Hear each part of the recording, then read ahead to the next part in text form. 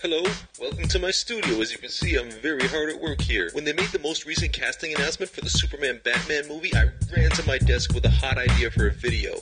But as it turns out, I was dreaming to think that I could do an entire animated short in a week. But I also promised you that I would hit you with a new video every Friday. So I'm here to give you, my loyal subscribers, a sneak peek at my next big video, an animated mashup of Social Network and Man of Steel, the Super Network. Here's Jesse Eisenberg as Lex Luthor hatching an evil scheme.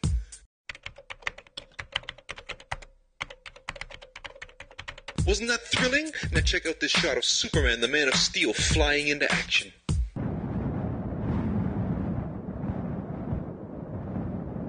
Edge of your seat, right? But seriously though, I don't want to give anything away, but trust me, this thing is going to be epic. So make sure you're subscribed to this channel, The Sean Ward Show, so you're ready for the Super Network, the animated mashup of the Social Network and Man of Steel. In the meantime, check out my channel for tons of viral pop culture mashup and parody videos, and be sure to check out my website to read full comic books by me for free. A few shoutouts here for some super fans, TDKR Bean, G Nana, I am a lighthouse, Orochi52, Michael Minicucci, and everybody who's been commenting on my videos. You guys are the juice that keeps me going.